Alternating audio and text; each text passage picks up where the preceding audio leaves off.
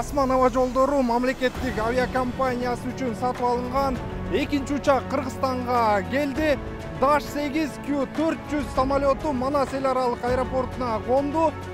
канадада өндүрүлгөн бул учак сексен жүргүнчүгө ылайыкталып эки миң чакырымга чейин уча алат биздин аймактык аэропорттордун баардыгы эле